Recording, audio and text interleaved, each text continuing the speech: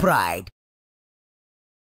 Kwa majina naitwa Rosina Julius, ni afisa mradi wa haki za wanawake katika mazao ya kilimo na ufugaji. Uh, mradi umejikita zaidi au uh, pia unalenga zaidi mwanamke anashiriki vipi katika maamuzi baada ya kuvuna mazao ya kilimo na ufugaji au matumizi ya mazao hayo, lakini pia mwanamke ananufaika vipi na hayo mazao ya kilimo na ufugaji.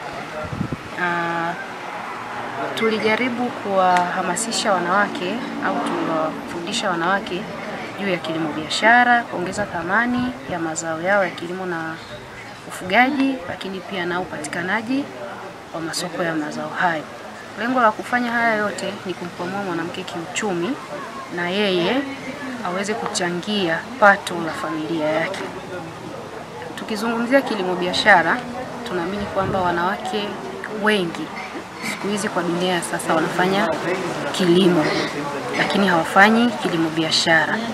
Kilimo biashara ni kilimo cha tija, kinaanzia sokoni. Mtu anapolima au mwanamke anapolima anaanzia sokoni kujua bei ya kitu ambacho anakilima, mwisho wa siku anauza kwa faida gani na anapata faida kiasi gani. Migogoro mingi ni ya ardhi, lakini pia migogoro mingine ni ya wanaume kufanya maamuzi wenyewe ndani ya familia bila kushirikisha wanawake. A, migogoro hiyo tulijaribu kuipokea na kuisikiliza, lakini sisi kama KOSITA tulijaribu kuwaunganisha na wasaidizi wa kisheria ambao tumefanya nao kazi na kuwasaidia zaidi kisheria. Walishauriana ku kwenda kwenye, wengine walishauriana kwenda kwenye vyombo vya sheria, lakini wengine walimaliza kwenye vijiji vyao, kwenye ofisi za vijiji, kwa sababu haikuwa migogoro mikubwa sana, lakini pia ilikuwa ni kipindi muhimu sana au mafundisho muhimu sana, kwa sababu watu walikuwa hawajui hata wanaenda wapi, au wanawake walikuwa hawajui anaenda wapi, anapeleka wapi tatizo lake.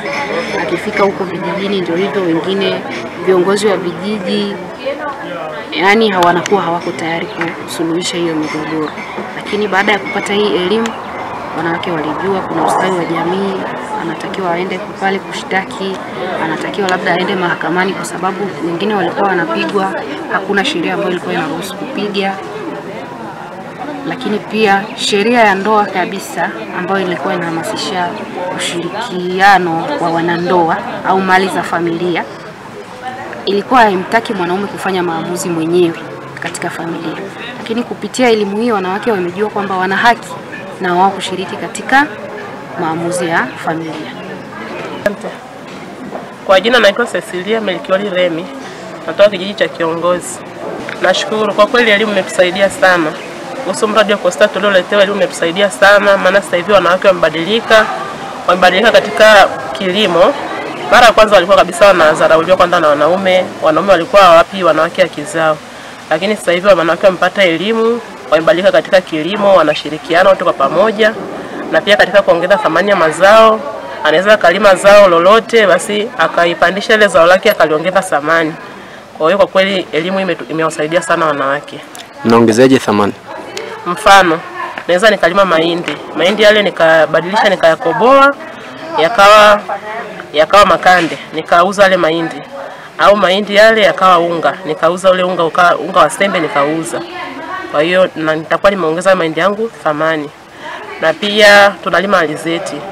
Alizeti ile nitaikamua, itakuwa mafuta. Mafuta yale nitayatumia, au mengine naweza nikauza, na pia mengine nitapata thamani mashudu. Mashudu yale nitayauza kwa ajili ya kuku, kwa ajili ya ng'ombe, nitakuwa ile alizeti yangu imeongeza thamani. Na pia mashudu vile vile, pia kuna hawa wajasiriamali wadogo wadogo wanatengenezea pia mafuta ile tope, wanatengenezea mafuta, wanatengenezea pia sabuni. Kwa hiyo nitakuwa nimeongeza ile alizeti yangu thamani.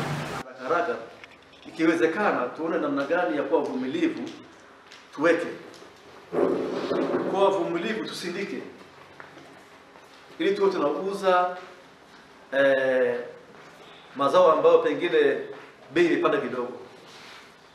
Maharage mara nyingi yanapovunwa huko mnajua sigino huko, sasa gunia inakwenda kwenye laki moja laki na kumi, lakini unakaa muda fulani inapata laki mbili na kitu.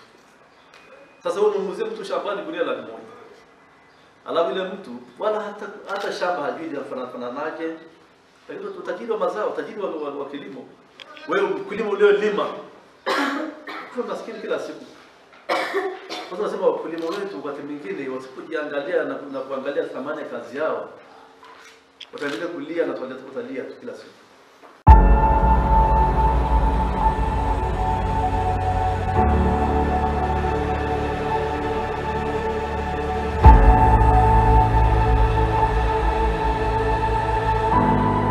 Ndio cha pride brother. Kwa usafiri wa haraka, nafuu na salama, tumia Chapride. pakuwa app ya Chapride kupitia Google Play Store na App Store sasa. Chapride, huduma kinyumbani.